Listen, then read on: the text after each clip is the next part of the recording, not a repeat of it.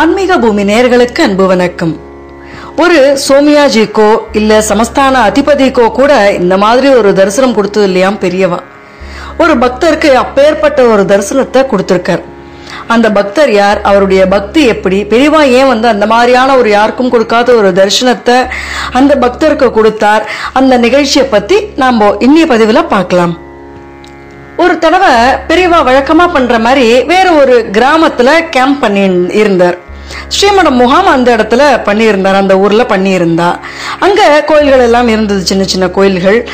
அங்கே வந்து சிவன் கோயில் பெருமாள் கோயில் எல்லாமே இருக்கும். அங்கே ஒரு கிராம தேவதையினுடைய கோயிலும் இருந்தது. பெரியவா டெய்லி அந்த கிராம தேவதை கோயிலுக்கு போயிட்டு வருவார். ஒரு தடவை ஸ்ரீமடம் முகாம் பண்ணியிருந்த இடத்துக்கு கிராம தேவதை கோயிலுக்கு போயிட்டு ஸ்ரீமடம் முகாம் பண்ணியிருந்த இடத்துக்கு அதாவது அக்ரஹாரம் சொல்வா இல்லையா அங்கே வந்துட்டு இருந்தார் கூட ஒரு ஏழு எட்டு பேர் மட்டும்தான் வந்திருந்தா. வழியில் ஒரு வாய்க்கால் மதகு ரெண்டு புறமும் ரெண்டு அடி உசரத்துக்கு சிமெண்ட் சுவர் இருந்தது. அதில் ஒன்றில் பரங்கிக்காய் பூசணிக்காய் தேங்காய் அவரைக்காய் இளநீர் வேர்க்கடலை இதெல்லாம் வச்சிருந்தது.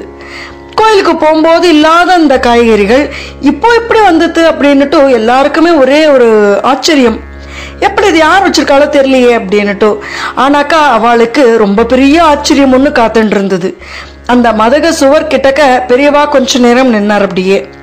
பதினஞ்சு அடி தூரத்துல அடக்க ஒடுக்கமா பக்தி பரவசமா கைகளை கட்டிண்டு ஒரு திருக்குலத்து திருத்தொண்டன் நின்றுட்டு இருந்தார். அவருடைய கண்கள்லேருந்து கண்ணீர் முத்துக்கள் கீழே உழுல் அப்படியே தயாராக இருந்தது. இப்போ அழலாமா அடுத்த நொடி அழலாமா அப்படின்னு சொல்லிட்டு அப்படியே கண்கள் அப்படியே கண்ணீர் கோத்துன்னு இருந்தது அப்படியே. பெரியவா ஒரே இடத்துல சில போல நிற்காம இப்படியும் அப்படியுமா நாலா பக்கமும் திரும்பினவாறே தொண்டர்கள் கிட்டக்க ஏதோ பேசிட்டு இருந்தார் அப்படியே. சம்பந்தமே இல்லாம ஏதோ குழந்தைத்தனமான பேச்சுக்கள். அவளுக்கு தேவையில்லாத அந்த நேரத்துல அவளுக்கு தேவையில்லாத விஷயங்கள் சம்பந்தமே இல்லாத விஷயங்களை பத்தி ஏதேதோ பேசிட்டு இருந்தார். இந்த பேச்சுக்கெல்லாம் இப்போ என்னத்துக்கு அவசியம்? அப்படின்னுட்டு கூட வந்திருந்த தொண்டர்கள் எல்லாருக்கும் ஒரே குழப்பம். எல்லாரும் முழிக்கிறா பெரியவா ஏன் இப்படி வந்து அப்நார்மலா பிஹேவ் பண்றார்? அன்யூஷுவலா பிஹேவ் பண்றார்? எப்ப இப்படி எல்லாம் இருக்க மாட்டாரே வித்தியாசமா இப்படி நடந்துக்கிறாரே? அப்படின்னுட்டு. அதுக்கப்புறமா இதெல்லாம் இங்க இங்க எதுக்காக வச்சிருக்கான்னு கேளு அப்படின்னு சொல்லி சொல்கிறார் பெரியவா தொண்டர்கள் கிட்டக்க அவளுக்கு ஒண்ணுமே புரியல. யாரை கேட்கணும் எதுக்கு கேட்கணும் அப்படின்னுட்டு. அதுக்கப்புறமா பெரியவா ஜாட காமிக்கிறார். காமிச்ச உடனே ஒரு சிஷ்யர் போயிட்டு அவர்கிட்ட கேட்குறார். ஏன் இதுக்காக இதெல்லாம் இங்கே வச்சுருக்கள் அப்படின்னுட்டு. சாமிக்கு தான் வச்சுருக்கேன். எல்லாமே தோட்டத்தில் விளைஞ்சது. சாமி கோயிலுக்கு போகிறத பார்த்தேன். இந்த வழியாகத்தான் திரும்பி வருவாங்க அப்படின்னுட்டு ஓடி போய் வீட்டிலேருந்து கொண்டு வந்து வச்சேன். நான் பால் தயிரெல்லாம் கொடுத்தா சாப்பிட மாட்டாங்களே. இதுகளெல்லாம் சாப்பிடுவாங்க இல்லையா? அதனால தான் கொடுத்தேன். பெரியவங்க சாப்பிடணும் அப்படின்னு சொல்லிட்டு அந்த பக்தர் சொல்கிறார் அப்படி சொன்ன உடனே அந்த தொண்டர்களுக்கு பெரியவா இதை ஏத்துப்பாளா இல்லையா? அப்படின்னுட்டெல்லாம் ஒன்றும் புரியல குழப்பத்தோடவே பெரியவாளை பார்த்தா.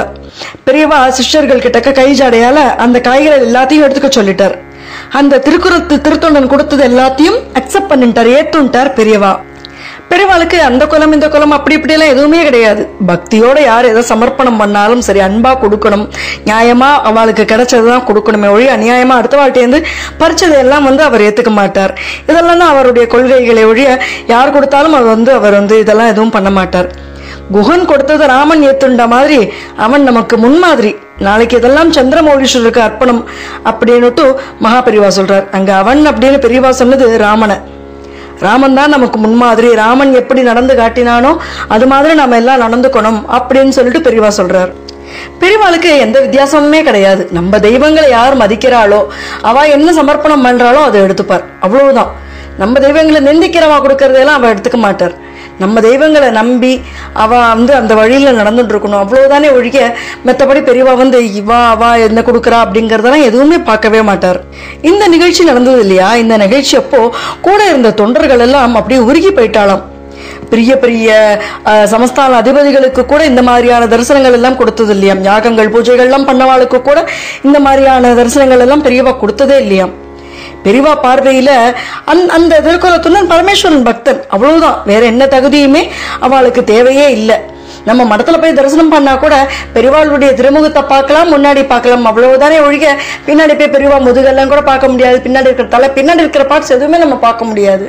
ஆனாக்கா அந்த தொண்டனுக்கு தானே சுத்தி சுத்தி தன்னுடைய முழு உடம்பையும் தரிசனம் கொடுத்து அவர் வந்து ஆட்கொண்டிருக்கார் நம்ம பெரியவா அவ்வளவு தூரம் எளிமையா இருக்கிறவாளுக்கு இன்னும் கீழே இறங்கி போய் எளிமையா தரிசனம் கொடுத்துருக்கார் பெரியவா. அதனால நம்ம பெரியவா சொன்னபடி நம்ம தெய்வங்கள் எல்லாத்தையும் வணங்கி அவ வந்து நமக்கு முன்னுதாரணமா முன்னுதாரணமா இருந்திருக்கா. ராமபிரான்லாம் நமக்கு அப்படியே முன்னுதாரணமா இருந்திருக்கார். அவர்கள் சொன்ன அந்த வழிப்படி நம்ம வாழ்க்கையை நம்ம வாழ்ந்து காட்டிண்டு மனசுல பக்தியோட அன்போட நம்ம வந்து பகவானை என்னைக்கும் துதிச்சுண்டு பெரியவாளை நமஸ்காரம் பண்ணிட்டு அவருக்கு பக்தி பண்ணிட்டு நம்ம இருந்தோம்னாக்கவே போறோம். நமக்கு தெய்வானுகிரகம் தானா கிடைக்கும். தெய்வானுகிரகம் நமக்கு கிடைச்சிடுத்துன்னு கிடைச்சிடுத்தோம்னு வச்சுக்கோங்களேன். நமக்கு இது வேணும்னு கேட்கறதுக்கே எதுவுமே தேவை இருக்காது. எல்லாமே நமக்கு கிடைக்கும். எல்லா நல்ல விஷயங்களும் நமக்கு கிடைச்சிருக்கும். சக்கல யோகங்களும் நமக்கு கிடைக்கும். நம்ம வாழ்க்கையும் ரொம்ப சந்தோஷமா திருப்தியா நிம்மதியா கழியும். அதனால பெரியவா சொன்னபடிக்கு நம்ம தெய்வங்களை எல்லாம் நம்ம நமஸ்காரம் பண்ணிண்டாவா காட்டின வழிப்படி நம்ம முன்னோர்கள் எல்லாம் நமக்கு காட்டின வழிப்படி நம்ம என்னைக்குமே ஃபாலோ பண்ணிட்டு நம்ம நடந்துட்டு வரணும். ஸ்ரீ மகாபெரியவா திருவடி சரணம் ஜெய் ஜெய். நம்ம சேனல்ல பார்த்தீங்கன்னா பல நல்ல விஷயங்கள் தொடர்ந்து சொல்லிட்டு இருக்கோம் தினமும் பல பல நல்ல விஷயங்கள் கருத்துக்கள் தொடர்ந்து வந்துட்டே இருக்க போகிறது இதை நீங்கள் பார்த்து கேட்டு ஃபாலோ பண்ணிடணும்னு வச்சுக்கோங்களேன் உங்களுக்கு உங்கள் வாழ்க்கையில் பல நல்ல விஷயங்கள் நடக்குங்கிறதுல ஒரு சந்தேகமுமே கிடையாது. அதனால நீங்கள் நம்ம சேனலை லைக் பண்ணுங்கோ ஷேர் பண்ணுங்கோ சப்ஸ்கிரைப் பண்ணுங்கோ. ஜெய ஜெய சங்கர ஹர சங்கர.